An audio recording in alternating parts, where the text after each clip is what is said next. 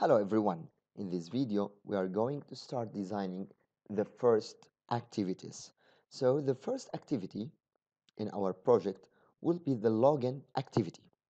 But before we start designing this activity, I have here two photos, one for user and another one for password. So I'm going to add these photos to the resources folder inside the drawable folder. Copy paste. Yes so I have added two photos one for the user logo and another one for the password. Now let's remove this text view. Let's go to the design. I'm going to work in XML so the first thing I'm going to use the linear layout for all activities so here I'm going to convert this layout to linear instead of constraint layout. The second thing, I'm going to add a background for this activity as hashtag 404040. Now, after that, let's go to the design and let's add two text. So go to text I'm going to add mobile and password. So I will draw phone and also I'm going to add password for the login. Okay. Now go to text. Yeah. Also we have forget another thing, which is the orientation. So make the orientation as vertical to put the two plain text one after the other. Now let's remove the weight attribute for both edit text. So now I have two plain text. The first thing, let's convert the width of both of them to match parent. Second thing, let's add some hint. So here, for example, enter mobile number. Okay but uh, the color is black so I can change the text color. Okay to white and also the text hint color. The text color hint also to white. So as you have seen here enter mobile number also. I should add some ID here let's call this one login underscore mobile. Also to add some photo to this edit text you can use right here where is right? Yeah drawable right. Drawable right I'm going to use drawable user as you see here it add some uh, logo or some icon on the right of the edit text. And also we can add some margin. So margin let's say 20 dp. Yes it is good. Now let's copy all this okay to the second one oh I'm sorry but this one is the password. No problem no problem. Okay and here also enter mobile. So let's change this one to text or sorry phone. Yes.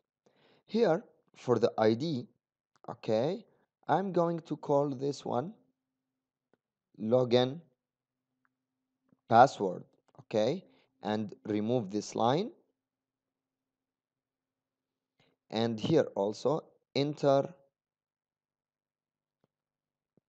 password and change the icon instead of user to password.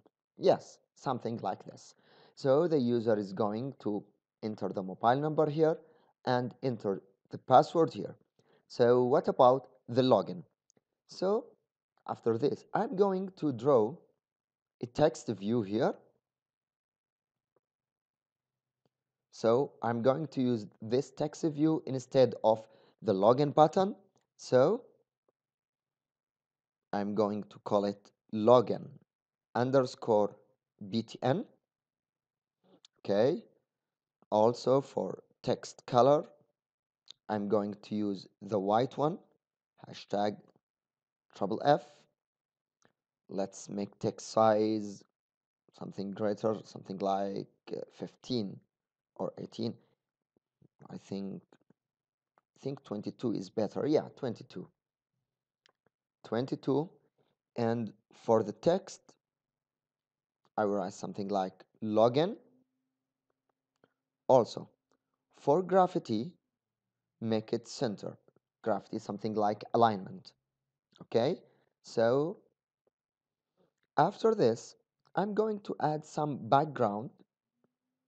So let's add something like um, what if we try something like this?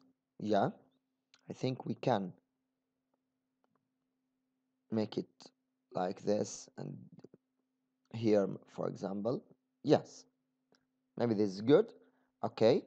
And now let's add some margin. So or yeah some margin. So what about for example 50 or maybe 80 yes. 80 dp but it is it should be from left and right margin. So what about left margin? 80 and also right margin the same value 80 dp okay but here yes. Now to make it something like box so we can add also the padding. So what about 20 dp as padding? Oh it's bigger let's try 10 yes I think 10 is better. Okay? So it depends on you. Now this text view will be the login button. We can also copy this text view and paste it again here.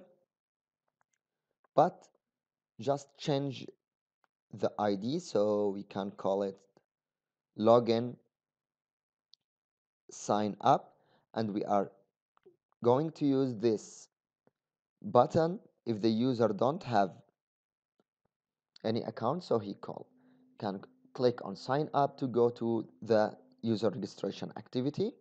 And also we can add some margin here. Margin top let's say 20 dp. Let's make it 30 yes okay. So if the user enter the mobile number password then click on login. If he doesn't have any user he can click on the sign up so he can move to the another activity. So this is the login activity okay? In the next video we are going to do the same thing with the registration activity. See you next video